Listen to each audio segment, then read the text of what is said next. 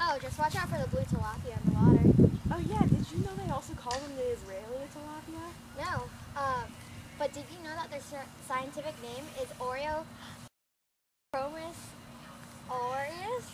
That's cool. And, and very long. Yeah. They came here in 1961.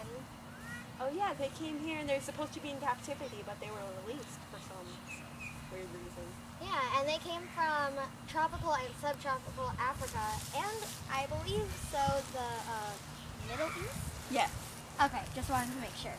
Uh, oh yeah, they invade other animals' areas, and they also kill most of the plant life. yeah. It's, It's bad. bummer. Yeah. Yeah. So, do you know what else they do? Um. Well, they attack a lot. They're very. True. They're vicious.